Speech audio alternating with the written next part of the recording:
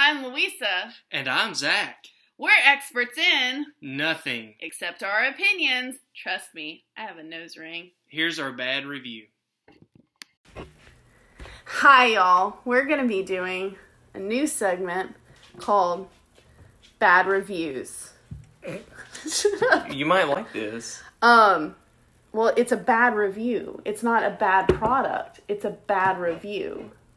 Oh, our review. We're still bad. working out the details. The review will be bad. So get ready. She just said this 30 seconds ago. I did. I did. I live in the moment. Um, I don't stop. I bought this at the It's already grocery a bad review because there's no format. at the grocery store because it looks like Ninja Turtles. Okay, Which one does that look like? the black one. There is not. There's not a black one. You racist. I don't know. It's purple. Who? All right. Who's? Which one has the purple? Michelangelo. No. Donatello. Yes. What's the other two? All right, so let's get into the review. This is Terrapin Beer Co. from Athens, Georgia. Hopsecutioner IPA. Hopsecutioner IPA. Um, How much time we got left? with the visual, you can see he's he's executing the hops. He's the hopsecutioner, um, Donatello, Don't think. Whatever Oh, they yeah, are. Ninja Turtle. Okay, does you. it say are um are six varieties of hops in a Hurry beer up. enough to lose your hop head over? Shut up. We are at Ter we at Terrapin think so. To prove it, we've made our own Hopsecutioner IPA with the choicest buds we could find. We hope you enjoy this. So let's give it a pop. Wait. The video's gonna run out. Oh. Ooh, nice pop. Hmm. Okay, I'm gonna smell it. Right? Don't you like swish and smell it or something? no, that's wine. Smells like nothing. It smells like beer. Smells like beer. Light, Hoppy. sl- bitter. Ooh, citrusy. It's citrusy. Do you get notes of citrus? Uh, I don't know.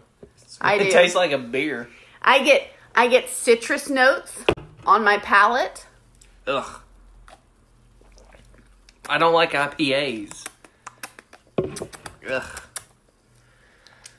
It is tangy and bitter.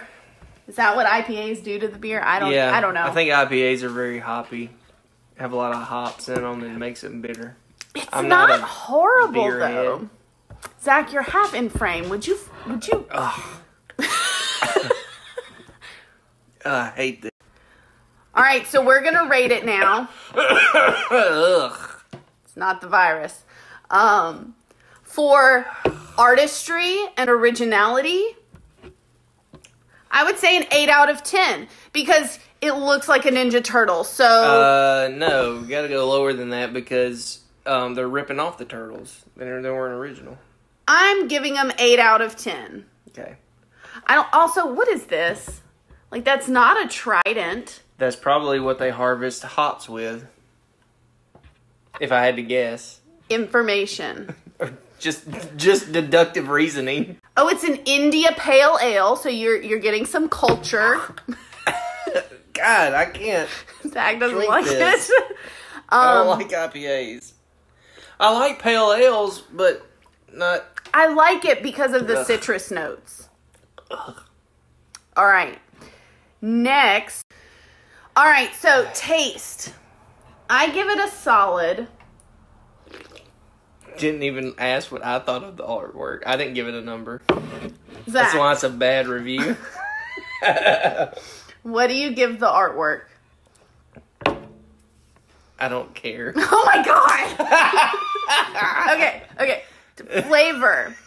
Because of the citrus notes, I like it slightly. Ugh. I would give it a solid You don't drink beer regularly, though. 6.3 because of the bitterness out of 10. Two out of ten because I hate IPAs. I don't like it. This is not for me. Bam, bam, bam. That's our bad review of Terrapin Beer Co. Athens GA Hopscotchinator. It's available at Kroger. Zach just let me know we didn't talk about the alcohol percentage, whatever. It is 7.3 APV.